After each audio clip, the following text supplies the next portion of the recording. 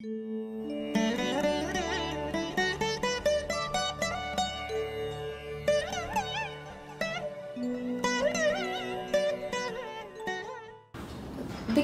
இழந்த ஒரு கிரகத்தால ஒரு ஜாதகருக்கு நன்மை செய்ய முடியுமா? இந்த திக்பலம்ன்றத நான் அடிக்கடி சொல்லிட்டு வரேன். திக்பலம் அப்படிங்கிறது என்ன? திக்பலம்ன்றது காலங்காலமாக ஒரு உணரப்படாத ஒன்றுன்றதை நான் சொல்லிட்டு வரேன். இப்போ வேடிக்கையாக கூட சொன்னேன் ஒரு தடவை. நான் திக்பலத்தை பற்றி பேசின உடனே யூடியூப்பில் திக்பல வீடியோக்கள் அதிக அதிகமாயிடுச்சு அப்படின்னு சொல்லிட்டு வேடிக்கையாக கூட ஒரு தடவை சொன்னேன். இந்த திக்பலம்ன்றது என்ன? திசைகள் ஒரு கிரகம் நிற்கிற திசையின் அடிப்படையில் ஒன்று நான்கு ஏழு பத்து. அந்த அடிப்படையில் வந்து கிரகங்கள் திக்பலத்தில் நிற்கிதுன்னு சொல்லப்படுது. அதாவது ஒன்றில் குருவும் புதனும் நான்கில் சந்திரனும் சுக்கிரனும் ஏழில் சனியும் பத்தில் சூரியனும் செவ்வாயும் இருக்கும்போது திக்பலம்னு சொல்லுது. இந்த திக்பலம் வந்து பூரண திக்பலம் தான் இந்த இடங்கள். ஷட்பலத்தில் பார்த்தீங்கன்னா ஆறு விதமான பலன்களை கணக்கிடும்போது ஒன்றாம் வீட்டிலிருந்து இப்போ திக்பலத்தில் நிறைய பேர் நினச்சிக்கிறாங்க இந்த இடத்துல இருந்தால் தான் கிரகம் திக்பலம்னு நினச்சிக்கிட்டு இருக்கிறாங்க ஜோதிடம்ன்றது மகா ஆழமானது. இந்த இந்த திக்பலத்தில் நான்காம் இடத்துல இருக்கின்ற குருவுக்கு திக்பலம் இருக்கிறதா இல்லையான்னு கேட்டால் பாதி திக்பலம் இருக்குன்னு நான் பதில் பதில் சொல்வேன். ஏன்னா ஷட்பலத்தில் இதை நம்ம கணக்கு போடுறோம். அதாவது ஐந்தாம் வீட்டில் இருக்கிற ஆறாம் வீட்டில் இருக்கிற குரு வந்து திக்பலத்தை இழந்து கொண்டிருக்கிறார். பனிரெண்டாம் வீட்டில் இருக்கிற குரு வந்து திக்பலத்திற்கு முக்காவாசி தொண்ணூறு சதவிகித திக்பலத்தை அடைந்திருக்கிறார். இப்போ இந்த உச்சம் நீச்சத்தை நோக்கி போகின்ற ஆரோகணம் அவரோகணம் அமைப்பில் இதையும் சேர்த்துக்கணும் நீங்கள் உச்சத்தை நோக்கி போய்கொண்டிருக்கின்ற ஒரு கிரகம் வலிமையாக இருக்கும். அதே போல திக்பலத்தை நோக்கி போய்கொண்டிருக்கின்ற ஒரு கிரகம் வலிமையாக இருக்கும். ஒன்று நான்கு ஏழு பத்தில் இருக்கும்போது அவர் திக்பலத்தில் முழுமையாக இருப்பார். அப்போ அந்த திக்பலம் எதற்காக சொல்லப்பட்டது அப்படிங்கிற சூட்சமத்தையும் நான் வந்து சொல்லியிருக்கிறேன். பாப கிரகங்களுக்கு மட்டுமே திக்பலம் சொல்லப்பட்டது. சுப கிரகங்களுக்கு கூடுதலானது சுப கிரகங்கள் எத்தனைக்கு எத்தனை வலுவாக இருக்கிறதோ அத்தனைக்கு எத்தனை ஒரு மனிதன் மிக நன்றாக இருக்கிறான். அதே நேரத்தில் அளவுக்கு மிஞ்சினால் அமிர்தமும் நஞ்சு அப்படின்ற அடிப்படையில் குருவும் சுக்கரனும் உச்ச வர்க்கத்தமம் அடையக்கூடாதுன்றதையும் நான் அடிக்கடி சொல்றேன். உச்ச வர்க்கத்தை ஏன்னா எதுவுமே அளவுக்கு மீறினா திகட்டி போயிடும் உங்களுக்கு. நல்லது செய்ய முடியாது. உதாரணமாக குரு பவித்திரமாக சுபத்துவமாக வளர்பிறை சந்திரனோடு சேர்ந்து இருக்கின்ற ஒரு நிலையில அந்த பாவகத்தை பாதிப்பார் அப்படின்றதும் ஒரு விதி. இந்த விதியை நீங்க எல்லா நல்லா உங்க இந்த ஜாதகங்களை பாருங்க. ஐந்தாம் இடத்துல வளர்பிறை சந்திரன் பௌ- பூர்ணத்தை நோக்கி நெருங்கி கொண்டிருக்கிற சந்திரன் சுபத்துவமாக குருவோட சேர்ந்திருந்தா புள்ள இருக்காது ஏழாம் இடத்துல இப்படி இருந்தா மனைவி இருக்காது ஆனா இது இதற்கும் விதி விலக்குகள் இருக்கின்றன. அவங்கள செவ்வாசனை பார்த்தா இது இதாகும்.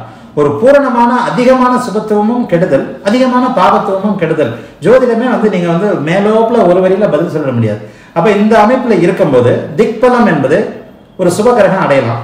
பாவகிரகம் நேரடியாக ஆட்சி உச்சம் அடையக்கூடாதுன்னு நான் சொல்லிடுறேன். என்னுடைய பாவகிரகங்களுடைய சுபத்துவ சூட்சம உள்ள கோட்பாட்டில் நான் என்ன சொல்கிறேன் பாவகிரகங்கள் சனி செவ்வாய் இரண்டும் சனி முக்கால் விதமான நல்ல கெட்ட விஷயங்களையும் செவ்வாய் முக்கால் விதமான கெட்ட விஷயங்களையும் சனி முழுமையான கெட்ட விஷயங்களையும் மனிதனுக்கு செய்யக்கூடிய கிரகம்னு சொல்கிறேன் அப்போ அந்த பாவகிரகங்கள் கிரகங்கள் அடையக்கூடாது. அப்போ அந்த நேர்வுல அடையக்கூடாதுன்னா ஆட்சி உச்சம் அடைகிறது நீச்சமாகிறது நல்லதுன்னு ஒரு அமைப்பு இருக்குது அப்ப அது நீச்சமாக ஆகின்ற ஒரு நிலைமையில மறைமுகமாக அப்ப நீச்சமாகும் போது அவருடைய ஆதிபத்தியங்கள் கெடும்.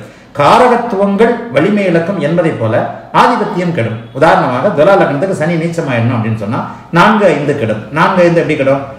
அம்மா அம்மா வீடு வாகனம் இதோடைய விஷயங்கள் பூர்வ புண்ணியம் குழந்தை விஷயங்கள். இது எல்லாத்தையுமே சனி கெடுப்பார் இல்லையா? ஒரு கிரகம் ஆதிபத்தியத்தை கெடுத்து காரகத்துவத்தை தரக்கூடிய நிலைமையில பாப கிரகம் அமைந்திருக்கும் போது மட்டுமே அது திக்பலத்தை அடைந்தார். திக்பலம்ன்றது ஆட்சிக்கு இணைய உச்சத்துக்கு இணையானதில்லை. ஆட்சிக்கு இணையாக ஸ்தான பலம் இழந்த ஒரு கிரகத்திற்கு இணை அமைப்பாக மாற்று அமைப்பாக நம்முடைய மூல நூல்களில் சொல்லப்படுது. அப்போ திக்பலம் உள்ள கிரகம் நேர்வலுவான ஆட்சியை இழந்து அல்லது வேற ஏதாவது பதவியில் இருந்தால் கூட பரவாயில்ல இருந்து திக்பலமாக இருக்கும்போது அது நல்ல பலன்களை செய்யும். நீச்சமாக இருந்தால் இன்னும் கெடுதலே இல்லை. பத்தாம் இடத்துல செவ்வாய் நீச்சமானா நல்லது. ஏன்னா அங்கே திக்பலமாக இருக்கிறார். எந்த லக்னமாக இருந்தாலும். பத்தாம் இடத்துல நீச்சமாகிறது துலா லக்னத்துக்கு மட்டும்தான். வேற எந்த இடத்துலையுமே வந்து அதே நேரத்தில் பத்தாம் இடத்துல அவர் மேஷ லக்னத்திற்கு உச்சமாகி திக்பலமாக இருந்தால் நல்லா இருக்காது செவ்வாய் தசை. அப்படி இருக்கும்போது அவரை சுபத்துவப்படுத்த குரு பார்க்க வேண்டும் அல்லது சுக்கிரன் சேர வேண்டும். ஆக இந்த சுபத்துவ பாபத்துவ அமைப்புகள் அடி- அடிப்படையில் திக்பலம் என்பது பாவ கிரகங்களுக்கு மட்டும் சொல்லப்பட்டது. திக்பலத்தை நீங்கள் ஒன்று நாலு ஏழு பத்தில் இருந்தால் மட்டும்தான் பார்க்கக்கூடாது பனிரெண்டில் இருந்தாலும் குருவும் புதனும் திக்பலம் அடைவார்கள். அந்த திக்பலம் பூர்ணச்சந்திரனுடைய வரிசைப்படி தான் அமாவாசையிலிருந்து விலகி பௌர்ணமியை நோக்கி போய்கொண்டிருக்கின்ற சந்திரன் எப்படி ஒளியை பெருக்கிக் கொண்டே போவாரோ அதே போல திக்பலம் இழந்த நிலையிலிருந்து வெளியே போகின்ற திக்பலத்தை நோக்கி போகின்ற ஒரு கிரகம் தன்னுடைய பலத்தை கூட்டிக் கொண்டே போகும். ஆ, ஒரு பலன் ஒரு கிரகம் என்ன பலனை தரும் அப்படின்றதுக்கு நீங்க மேம்போக்கெல்லாம் பார்க்கறதுக்கு இங்க ஜோதிடத்துல வழியே இல்லை. நான் இப்போது சொன்ன ஆரோகணம் அவரோகணம் உச்சத்தை நோக்கி போய் கொண்டிருக்கிறாரா நீச்சத்தை நோக்கி போய் கொண்டிருக்கிறாரா அதே போல திக்பலத்தை நோக்கி போய் கொண்டிருக்கிறாரா திக்பலத்தை இழந்து கொண்டிருக்கிறாரா என்ன நிலையில் இருக்கிறார் அப்படின்றத நீங்க எல்லா விதிகளையும் ஒட்டுமொத்தமாக சேர்த்து கால்குலேஷன் பண்ண முடிஞ்சா அது வந்து உங்களுக்கு சரியான பலனை தரும்.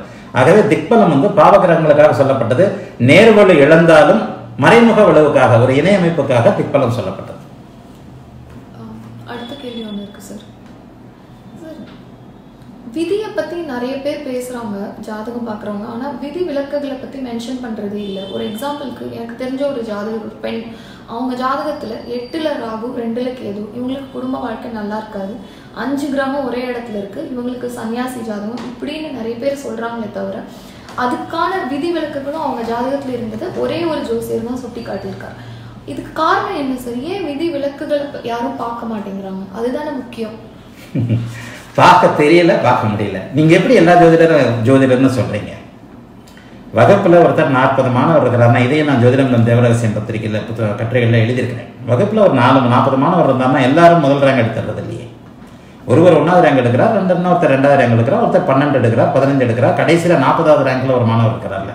ஜோதிடர்கள் எல்லாரும் ஜோதிடர்கள் அல்ல. இதை வந்து நீங்கள் காலங்காலமாக இருந்து வர ஒரு விஷயம். இது எங்க துறையில மட்டுமே இல்லை. எல்லா துறையிலும் இருக்கு. ஒரு எம்பிபிஎஸ் படிக்கிற டாக்டர் ஒருத்தர் முந்நூறுரூவா ஃபீஸ் வாங்குறாரு ஒருத்தர் அப்போலோல மூவாயிரம் ஃபீஸ் வாங்குறாரு. இதையும் தாண்டி முப்பதாயிரம் ரூபாய்க்கு வரக்கூடிய டாக்டர் இருக்கிறாரு. அப்போ அவங்களுக்குள்ள குவாலிட்டி என்ன? நீங்க வந்து விதிகள் எல்லாருமே ஏதோ வயிற்று பிழைப்புக்காக ஜோதிடம் கற்றுக்கொண்டு வந்துட்டு சொல்றவங்களையும் ஜோதிடர்னு சொல்லலாம். அஸ்ட்ராலஜியே வந்து வெறும் ஹாபியா மட்டும் வச்சுக்கிட்டு இப்போ நாங்களாம் தொழில்முறை ஜோதிடராக இருக்கிறோம். எனக்கு எல்லாம் தெரியும் அப்படின்னு நான் சொல்ல மாட்டேன். என்னை விட தெரிஞ்ச ஒருத்தர் தொழில்முறை ஜோதிடராக இல்லாமல் இருக்கலாம்ல? இருக்கிறாங்க ஜோதிடம்ன்றது ஒரு வகையான ஞானம். நீங்கள் அதுக்காக எல்லா ஜோதிடரையும் நீங்கள் மேட்ச் பண்ணி பார்த்து அதை சொல்லக்கூடாது. இப்போ அவர்களுக்கு இது விதிவிலக்கு தெரிஞ்சா தானே சொல்லுவாங்க. ஒரு மூணு மாதம் படிச்சுட்டு ஜோதிடம்னு வந்துடுறாரு. அதற்கப்புறம் தான் அவர் ஜோதிடத்தையே கற்றுக்கொள்ள ஆரம்பிக்கிறார். வருகின்ற வாடிக்கையாளர்கள்லேருந்து ஜோதிடத்தை கற்றுக்கொள்ள ஆரம்பிக்கிறார். அதுக்கு தான் இப்போ போன கேள்வி கூட சொன்னேன். ஜோதிடம் பார்க்க போகிறவரை விட ஜோதிடருக்கு குறைவாக தெரிந்த சம்பவங்கள்லாம் இருக்குது அவர் போ பார்க்க போயிட்டு அவர் ஜோசியருக்கு கற்றுக் கொடுத்துட்டு வருவார். ஆக விதியை தெரிந்து கொண்டுட்டு அவர் ஜோசியர் ஆயிடுறாரு விதி விளக்குகள் அப்புறம் ஜோதிடத்துக்கு அப்புறம் சில பேர் கற்றுக்கொள்ளாமே போயிடுவாங்களே. எத்தனை பேர் இன்னைக்கு கிராமத்துல வந்து லக்னத்தையே பார்க்காமல் வெறும் ராசியின் அடிப்படையில் மட்டும் பார்த்துட்டு துருவகணிதம் ஒன்று இருக்கு. முதல்ல போனோம்னா துருவகணிதத்தை அம்மா அப்பா எத்தனை பேர் இருக்கிறாங்கன்றத சொல்லிட்டு சிம்ம ராசியா? ஆ இப்படி இருந்த. ஏழச்சனியா விருச்சிகராசியா நாலு வருஷமா நல்ல இதை மட்டும் சொல்லிட்டு அப்படியே வந்து ஜாதகத்தை பார்க்காம ஏன்னா தசாபக்தி அடிப்படையில் சில பேர் பார்த்தீங்கன்னா ஜாதக நோட்டில் தசாபக்தி அமைப்பு. நானே என்ன சொல்றேன்னா இப்போ என்னுடைய பார்க்கும் முறை என்ன? வந்தவனும் அவங்க நோட்டை நான் பார்க்குறதே இல்லை. டேட் ஆஃப் பர்த் டைம் தான் கேட்குறேன். நானே ஜோதிட ஜாதகத்தை கணிச்சிட்டு அதுக்கப்புறமா தசாபக்தி அமைப்புகளை வச்சு அதன் அடிப்படையில் பலன் சொல்ல ஆரம்பிக்கிறேன். இப்போ இந்த வசதி எத்தனை ஜோசியருக்கு இருக்கு? நான் கணிக்கிறதுனா இப்போ சிஸ்டத்தில் ஒரு நிமிஷத்தில் போட்டுடுறேன் எல்லா ஜோதிடரும் கம்ப்யூட்டர் வச்சுக்க முடியுமா? முடியாது இல்லையா? எல்லா ஜோதிடரும் கம்ப்யூட்டர் வச்சுக்க முடியாது. கம்ப்யூட்டர் இல்லைன்னா நானாக இருந்தாலும் அரை மணி நேரத்துக்கு ஆகும் கணிக்கிறதுக்கு. இப்போ வந்து நவீன காலத்தில் வந்து ஒரு மாபெரும் கணக்கிடும் கருவி வந்துட்டதுனால ரெண்டு நிமிஷத்தில் தசாப்தி அமைப்புகள் கிரக அமைப்புகளை சரி பார்த்துட்டு பலன் சொல்ல ஆரம்பிச்சிடுறோம். இப்போ ஒரு கிராமத்தில் இருக்கிற ஜோதிடர் என்ன பண்ணுவாரு? இப்போ இதே என்னுடைய மெத்தடில் ஒரு கிராமத்தில் இருக்கிற ஜோதிடர் பலன் சொல்லணும்னா அவர் இந்த கணக்குகளை கணிக்கிறதுக்கே குறைந்தபட்சம் ஒரு நாற்பது நிமிஷம் ஆகும். தசாப்தி அமைப்புகள்லாம் கணக்கு போட்டுட்டு அப்புறமா உட்காந்துக்கிட்டு உனக்கு இது சொல்லணும். அதை சொல்வதற்கான ஞானமும் அறிவும் அவருக்கு வரணும். அதுவும் இல்லை அப்படின்னு சொன்னால் என்ன பண்ணுவார்? நோட்டை விரிச்சு வச்சோன்னா அவருக்கு என்ன தசாப்தினே தெரியாது. லக்னமே சரி. முதல்ல லக்னத்தை கிராமங்கள்லையோ அல்லது தென் மாவட்டங்கள்ல இருந்து வர்ற முக்காவாசி ஜோ ஜாதகம் தப்பு. அதான் உண்மை. லக்னம் மாறி இருக்கும். தோராயமா போட்டிருப்பாங்க. ஏன்னா ஜோசியரும் மனுஷன் தான் அவருக்கு இருக்கிற அறிவை வச்சு தான் அவர் போட்டிருப்பாரு. எல்லா அமைப்புகள்லையும் தோராயமான அமைப்புகள் தான் நிச்சயமா கிராமங்கள்ல இருக்கிற வெளிநாட்டிலேயே ஏன் மத மெட்ராஸ்ல கணிக்கிறவங்க மட்டும் என்ன சரியா கணிக்கிறாங்களா? மேனுவலா போடும்போது எல்லாமே தப்பா இருக்கு. அப்ப நான் என்னுடைய மாணவர்களுக்கு என்ன அடிக்கடி என்ன சொல்றேன்? நீ முதல்ல ஜோதி ஜாதகத்தை உறுதிப்படுத்தாம பலம் சொல்ல ஆரம்பிக்காதுன்னு தான் நான் சொல்றேன். அப்ப ஜாதகத்தை நீங்க முதல்ல சிஸ்டம் போட்டு அதுக்கப்புறம் தசாபக்தி போட்டு எந்தெந்த கணக்குகள் கிரகங்கள் எங்கெங்க இருக்குன்னு தான் நீங்க பலன் சொல்லணும். அப்படிலாம் இங்க யாரும் சொல்றதே இல்லையே.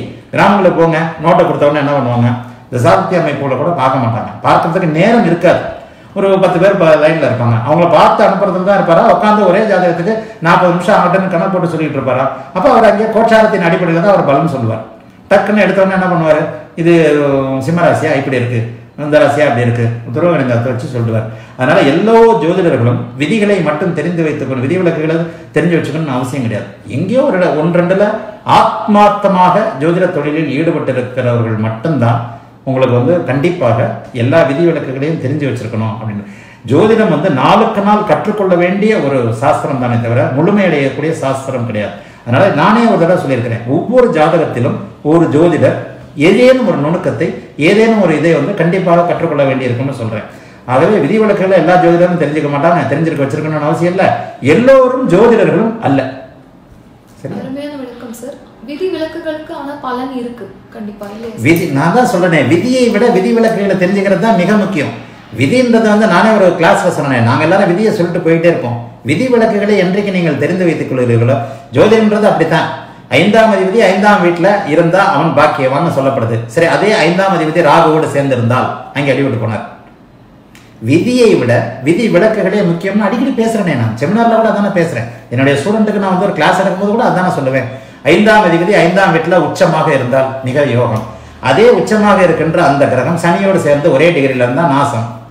ராகுவோடு சேர்ந்து ஒரே டிகிரியில் இருந்தால் அப்போ சுத்தமாக அவரை விழுவிழுந்து போனார்னு அர்த்தம். அப்ப அந்த இடத்துல போய் நீங்க அஞ்சாம் அதிபதி உச்சமா இருக்கிறார். எனக்கு ஏன் நல்லது நடக்கலன்னு கேட்டீங்கன்னா விதி விளக்குகளை தெரிந்திருந்தால் தானே உங்களுக்கு அந்த பலன் சொல்லவே முடியும். விதியை விட விதி விளக்குகள் தான் ஜோதிடத்துல முக்கியம். எப்போது விதி விளக்குகளை உங்களுக்கு ஊன்றி கவனிக்க தெரிஞ்சிருச்சோ? எந்த கிரகம்? இப்ப நான் சுபத்துவம் பாவத்துவம் எந்த லெவலுக்கு வரேன் விதி விளக்குகளின் ஹை லெவலுக்கு தான் நான் அந்த சுபத்துவம் பாவத்துவம் சூட்சும அளவு சொல்றேன். இந்த லெவலுக்கு நான் வர்றதுக்கு ஆயிரக்கணக்கான ஜாதகங்களை நான் பார்த்திருக்கிறேன். இன்னைக்கு கமர்ஷியல் ஜோதிடம் தான் ஆகிறதுக்கு முன்னாடியே நான் என்னுடைய ஆய்வு காலங்களில் நிறைய ஜாதகங்களை போட்டு போட்டு பார்த்தா நான் வரேன் அப்போ லக்னாதிபதி லக்னத்திலேயே இருந்தால் அவன் யோகவான் லட்சாதிபதி. சரி அப்ப லக்னாதிபதி லக்னத்திலேயே இருக்கிறார். அவன் லட்சாதிபதி இல்ல பிச்சை எடுத்துக்கிட்டு இருக்கிறான் ஒரே டிகிரியில ராகுவோட சேர்ந்திருக்கிறார். ஏழாம் இடத்துல சனி இருக்கிறார். பத்தாம் இடத்துல செவ்வாய் இருக்கிறார். இப்போ உதாரணத்துக்கு உங்க மிதன லக்னத்தையே எடுத்துக்குவோம். மிதன லக்னம் புதன் வந்து லக்னத்திலே ஆட்சியாக இருக்கிறது. அங்கேயே ஒரே டிகிரியில புதனோடு சேர்ந்து புதனை கிரகணப்படுத்தி குரு இருக்கிறார். ஏழுல சனி இருக்கிறார் பத்துல செவ்வாய் இருக்கிறார்னு வச்சுக்கோம் அப்ப அந்த லக்னாதிபதி மூன்று விதமான கிரகங்களின் தாக்குதலுக்கு ஆகிறார். மூன்றும் கெட்ட கிரகம். லக்னாதிபதி ஆட்சியாக இருந்தாலும் ராகுவோடு சேர்ந்திருக்கிறார் சனி செவ்வாய் பார்வையில் இருக்கிறார். லக்னம் கெட்டு போச்சு. புதன் தசை எப்படி வேலை செய்யும்? அப்ப இங்கே விதி என்ன? லக்னாதிபதி லக்னத்திலிருந்து தசை நடத்தினால் அவன் யானைகளுக்கு குதிரைகளுக்கு சொந்தமானவன். ஏராளமான ரதங்களை கொண்டவன். மன்னனாக இருப்பான். எப்படி மன்னனாக இருப்பான்? அப்ப இங்கே விதி விலக்குகளை தெரியும் போதுதான் அவனால பலன் சொல்ல முடியும். ஆகவே விதியை விட விதி விலக்குகள் எப்போது மிக முக்கியமோ அதுதான் வந்து ரொம்ப அவசியமான ஒன்று சார் இன்னொரு கேள்வி சார். ஒரு கணவன் மனைவி ஜாதகத்துல கணவனுக்கு வந்து குழந்தை வாக்கியம் அவ்வளோ வந்து கன்ஃபார்ம்டா இருக்கோ இல்லையோன்னு இருக்கிற சுச்சுவேஷன்ல அந்த மனைவிக்கு வந்து அடுத்த வருஷம் கண்டிப்பா தாயாகிற யோகம் இருக்கு அப்படின்னா அது பழிக்குமா சார்? இப்படி இருக்கவே இருக்காது அப்படி இருந்தா அது வேறு விதமான இல்லீகல் விஷயமாக இருக்கும். எப்போது? கம்பைன்டு அஸ்ட்ராலஜி இந்திய கலாச்சாரத்தின்படி ஒரு குடும்பத்துல தகப்பனுக்கு நல்ல நேரம்னா பிள்ளைக்கும் பொண்டாட்டிக்கும் நல்ல நேரம் இருக்கும். மனைவிக்கு கெட்ட நேரம்னா புருஷனுக்கு கெட்ட நேரம் இருக்கும். கலாச்சாரத்தின் அடிப்படையில் தான் ஜோதிடம் சொல்லப்பட வேண்டும். இப்போ மேற்கத்திய கலாச்சாரம் இந்த அளவுக்கு ஒரு பின்னி பிணைந்துள்ள ஒரு தம்பதிகளை கொண்டது அல்ல. இங்கே ஒரு இந்திய கலாச்சாரத்தில் ஒரு பெண்ணு கஷ்டம் வரும்போது தான் புருஷனை தோல்ல தூக்கி தாங்கணும்னு நினைப்பான். அவன் குடிகாரனாவே இருக்கட்டும் இதாக இருக்கட்டும் ஏதோ ஒரு வகையில் அவனை பிடிச்சி போயிருந்தா கஷ்டம் வரும்போது அவனை அவனை வந்து காப்பாற்றணும் இவன் வேலைக்கு போவான் சரி ஏதோ அவனுக்கு நேரம் நல்லா இல்லை கொஞ்ச நாள் நம்ம காப்பாற்றுவோம் அப்படின்ற மாதிரி தான் போகும். அதே மேற்கத்திய கலாச்சாரத்தில் ஒரு லண்டனில் பிறந்த ஒரு பெண்ணுன்னு வச்சுக்கோ. அவன் என்னப்பா இந்த தப்பு உன்னால இப்போ உனக்கு வேலை போயிடுச்சா? இந்த தப்பு நீ தானே பண்ண? கஷ்டப்படு. நான் எனக்கு டிவோர்ஸ் கொடுத்துருடுவேன் கலாச்சாரத்தின் அடிப்படையில் சொல்லப்படணும்னா கணவனுக்கும் மனைவிக்கும் நம்ம இந்திய தேசத்தில் ஒரே மாதிரியான கெட்ட நேரம் வந்தால் கெட்ட நேரம் வரும் நல்ல நேரம் வந்தால் நல்ல நேரம் வரும். அதே நேரத்தில் குழந்தைகளுக்கும் நல்ல நேரம் தான் வரும். இப்போ நீங்கள் இந்த தோ- புத்திர தோஷ சாமியம்னு சொல்கிறீங்களா சம புத்திர தோஷம் அப்படி இப்படிலாம் சேர்க்குறீங்களா இந்த பத்து பொருத்தம் இதெல்லாம் சும்மா. குழந்தை என்பது இப்போ நீங்க கேட்ட கேள்வி குழந்தை ஆம்பளையால் பிறகுதா பொம்பளையால பிறகுதா இது வேற மாதிரி கேட்குறேன் புருஷனால பிறகுதா பொண்டாட்டியால் பிறகுதா குழந்தை என்பது தம்பதிகள் இருவரும் இணைவதால் பிறக்கிறது. அப்போ என்ன? ரெண்டு பேருக்குமே ஒரே நேரத்தில் ஒரு குழந்தை பிறந்தான்னா அவள் தாயாகிறாள் அவன் தகப்பனாகிறான். இந்த அமைப்பு நிச்சயமாக அந்த ஜாதகத்தில் இருக்கும். அப்படி இல்லைன்னா அவங்க ரெண்டு பேரும் கல்யாணம் பண்ணிக்கலான்னு இருக்கும். பண்ணவே முடியாது. இது ஏகப்பட்ட ஜாதகங்களை என்னால் நிரூபிக்க முடியும். அவனும் அந்த ஆணும் அந்த பெண்ணும் தகப்பனாகிற தாயாகிற ஒரே நாள்ல தான் அவர்கள் அந்த ஒரு நாளுக்காகத்தான் அவங்க கல்யாணம்ன்ற பேர்ல முன்னாடியே இணைகிறாங்க இவனுக்கு குழந்தை பிறக்கிற அமைப்பு இல்லை இவனுக்கு குழந்தை பிறக்கிற அமைப்பு ஃபால்ஸ் சுத்த முட்டாள்தனம். அப்படிலாம் கிடையவே கிடையாது. ஜோதிடம் கம்பைன் தானே. அப்ப இவர்கள் ரெண்டு பேரும் இணைஞ்சு இந்த குழந்தை வரணுன்றது ஏற்கனவே நிச்சயிக்கப்பட்ட ஒன்று அப்படின்றதுனால தான் அவர்கள் திருமண பந்தத்துல இணைகிறாங்க இது நீங்க வேற மாதிரி கேட்டீங்கன்னா அப்போ தொடர்புகள் வேணா வேற சில நேரங்களில் வந்து இவன் உண்மையான தகப்பன் இல்லை அப்படின்றது வரும்போது அவள் தாயாகிறது வரலாம். எல்லாவற்றுக்கும் இப்பதானே விதிவிலக்கு இருக்குன்னு சொன்னேன். அப்போ அந்த பெண் தாயாகிற அமைப்பு இருக்கு. அவனுக்கு தகப்பனாகிற அமைப்பு இல்லை. இந்த இதுக்கு இடையில அந்த அந்த பெண்ணுடைய நடத்தை அப்படி வந்துடும் அப்ப வேற யாரோ ஒரிஜினல் தகப்பனா அப்படின்னு தான் வந்துடும் பெரு அது எல்லாரும் எல்லா இடங்களையும் நடக்குமா? எங்கேயோ அத்திபுத்த மாதிரி லட்சத்தில் ஒண்ணு இதுல ஒன்று நடக்கலாம். நீங்க கேட்ட கேள்விக்கு உண்மையான பதிலை சொல்றதா இருந்தால் குழந்தை இல்லா பிறக்கவே கூடாதுன்ற தம்பதிகள் ஒன்றிணைவார்கள். குழந்தை பிறக்கணும் அப்படின்ற ஒரே நாள் தம்பதிகள் இணைக்கப்படுவார்கள். அப்படித்தான் நடக்கும். ஒரு பலன் என்பது அம்மா அப்பா குழந்தைகள் எல்லாத்தையும் சேர்த்து கம்பைண்டா சொல்கிறது தான் ஒரு குடும்பத்துல நான்கு பேர் ஐந்து பேர் இருந்தா ஒரே நேரத்துல எல்லோருக்கும் நல்ல நேரம் ஆரம்பிக்கும். ஒரே நேரத்துல எல்லாருக்கும் கெட்ட நேரம் ஆரம்பிக்கும். இதுதான் உண்மை. ஒரு குழந்தை பிறந்ததுனால ஒருத்தன் யோகமா ஆயிடுறான்னு சொல்லுவோம். இப்ப என்னுடைய மகன் பிறந்திருந்து நான் நல்லா இருக்கிறேன். அப்படின்னா என்ன அர்த்தம்னா மகன் பிறந்த நாள்ல இருந்து அந்த மகனுக்கு சகல லக்ஸரிலையும் இருக்கக்கூடிய அமைப்பு இருக்கு. அன்றிலிருந்து அவருக்கு நல்ல தசா புத்திகள் ஆரம்பிச்சிருக்குன்னு அர்த்தம்.